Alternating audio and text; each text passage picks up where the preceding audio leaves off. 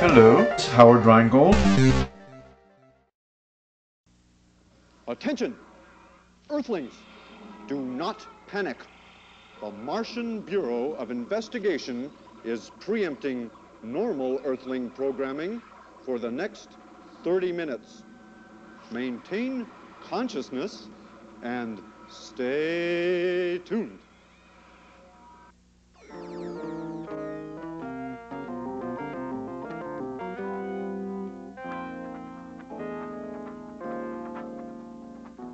Earth, the green planet, planet of mystery, has always fascinated Martians.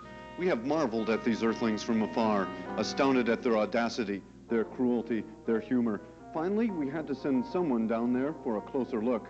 The Martian Bureau of Investigation selected Howard K. Martian, Jr., intrepid operative, spy and scholar, extraterrestrial anthropologist extraordinaire. Wherever Martian science leads me, there I will go.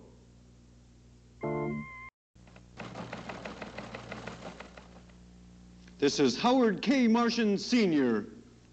and Howard K. Martian Jr. coming to you from distant, mysterious planet Earth and the vast cosmic studios of the Martian Bureau of Investigation. Well, Junior, what's up down there?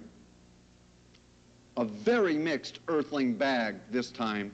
Everything from androids to alcohol. We're going to watch how Earthlings repair themselves, how they relax, and even take a peek at their metabolic processes.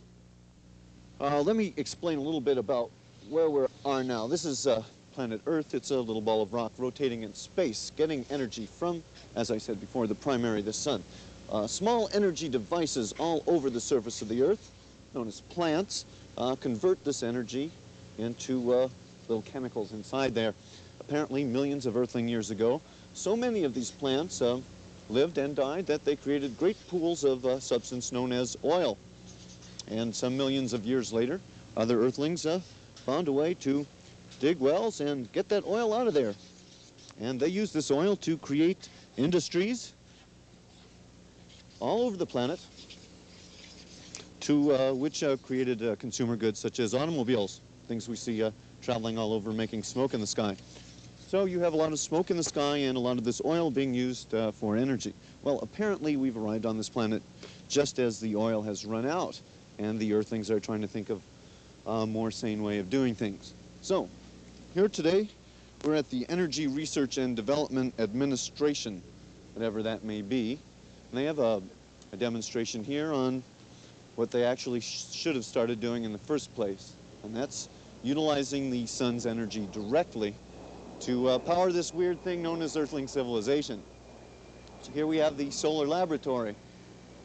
Those collectors you see on the roof there collect radiant energy and store it in liquid inside. It's used to heat and uh, cool the place. Over uh, which is powered not from millions of uh, dead dinosaurs, but from the sun's energy. Only eight minutes ago, that energy was in the sun just boiling away. And uh, now it's here in this solar laboratory. There's one uh, curious thing I noticed over here at the beginning of our little investigation that I'd like to follow up. And that's uh, this, this wire here. Many of our extragalactic viewers may not know what these things are. It's a power line, ladies and gentlemen, and uh, apparently this completely self-contained solar house is uh, somehow connected with something else. Typical Earthling way of doing things. It uh, winds over uh, there and eventually winds up in what looks to be an Earthling power plant.